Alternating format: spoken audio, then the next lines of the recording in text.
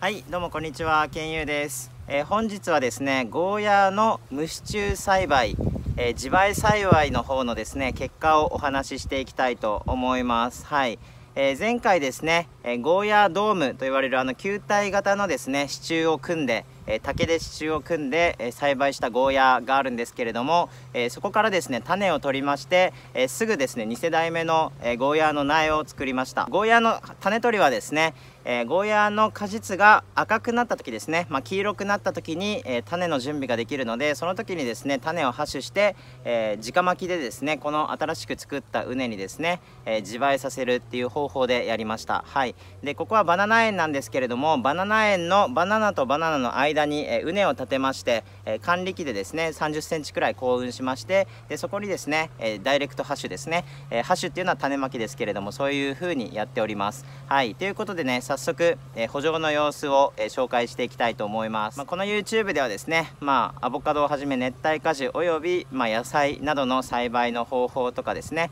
えー、そういったことをシェアしている、え動画になります、まあ、よかったらチャンネル登録もしてみてください。では、え動画の方切り替えていきます。はいこちらがですねゴーヤーの畝になります。はい成長しましたね。うん。で、まあ、ゴーヤの自培栽培ですね、えなぜ始めたかっていうと、まあ、支柱がね片付けがめんどくさいんですよね。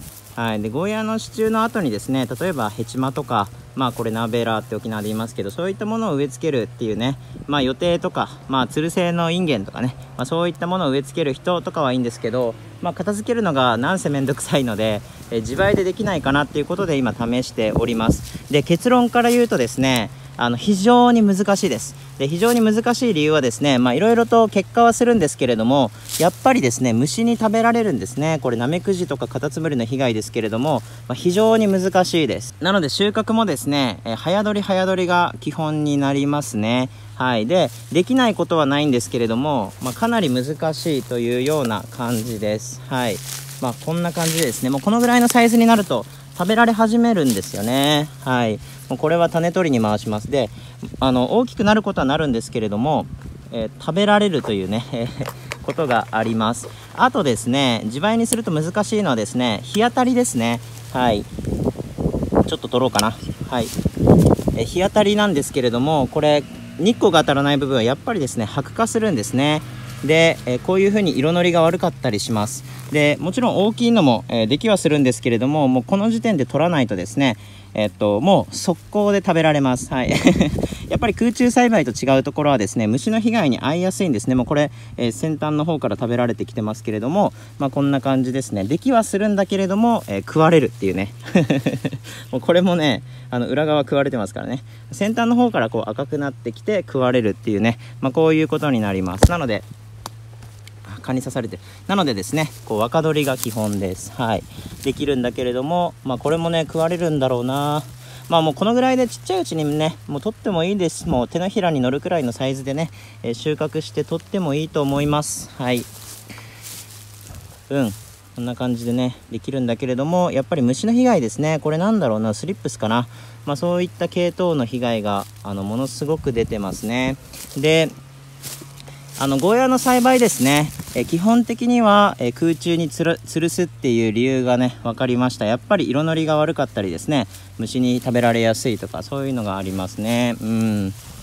で、まあ、自前どうしてもやりたいよっていう方はですねやっぱり、えこういう風にですねこのマルチ草マルチっていうのをきちんとやってこの上にですね、えつるを這わせていく、えー、ということが求められます。でえー、っと、向こうにですね、モロヘイヤやってるんですけれども、あの 一応摘心はしてるんですよ。ゴーヤーの、えー、摘心はしていて、で、そこから小づるがですね、ものすごい勢いでバーッと伸びてですね、えー、周囲の、まあ、例えば、え、このモロヘイヤとかにもですね、こう まあ、絡まってですね、え行ってしまうっていうことがあります。はい。ちょっとモロヘイヤに、えついているのは、え少し取りたいと思います。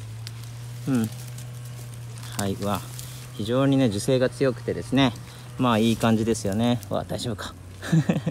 大丈夫か。はい。まあこういう風にねまあでも果樹園の中に、まあ、畝があっていろんな野菜があるっていうことは非常に、ね、面白い、えー、まあ、試みかなと思います。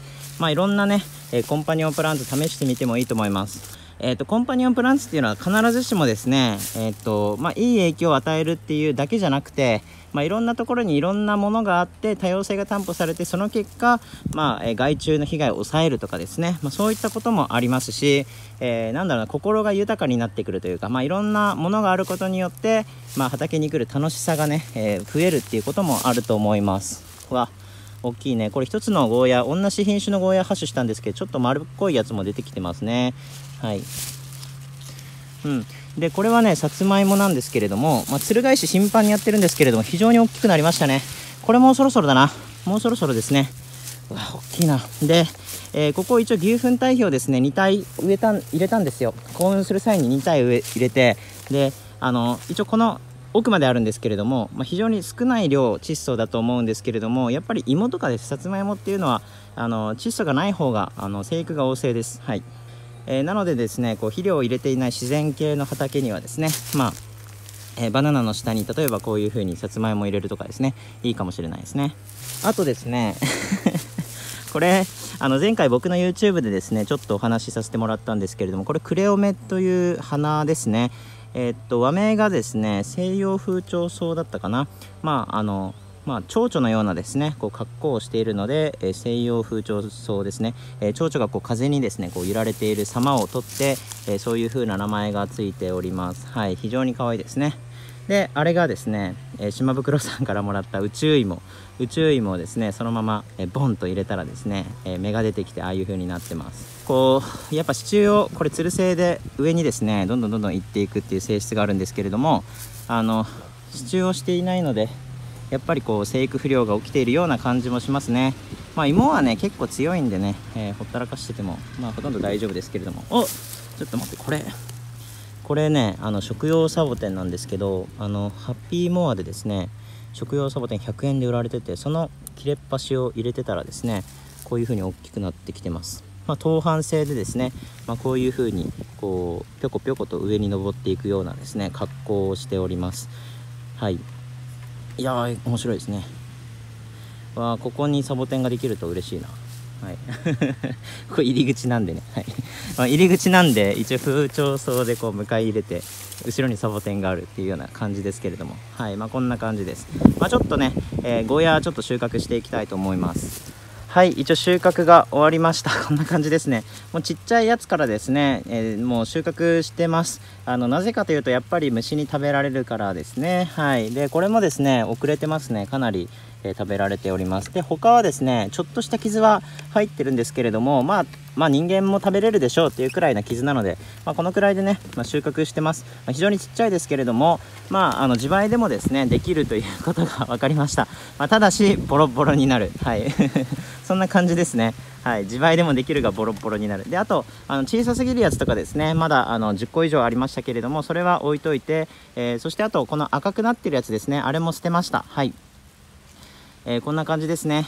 でやっぱりゴーヤーしっかり、えー、作ろうと思うと上に上げた方があのいいかなという、まあ、結果になりました。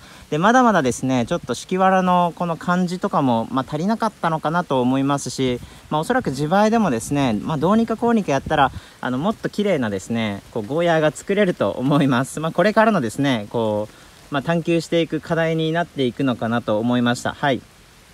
でえやっぱり支柱はですねこう面倒くさいっていうことがあるので、まあ、なるべくですね支柱を使わないで、えやるっていうのが、まあ、今後のね目標にしております。是非ですね、まあ、支柱を使わずに自前でゴーヤーやってるよっていう方ですね、まあ、こういう風にやったらもっと上手にできるんじゃないかっていうことをですね教えていただけたら、えー、幸いです。はい。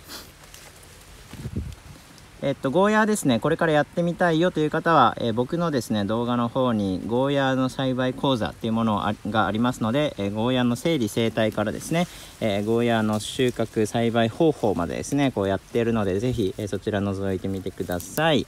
えということで、まあ、今回もですね、見ていただきましてありがとうございました。えー、ぜひですね、高評価ボタンを押してください。ありがとうございます。バイバイ。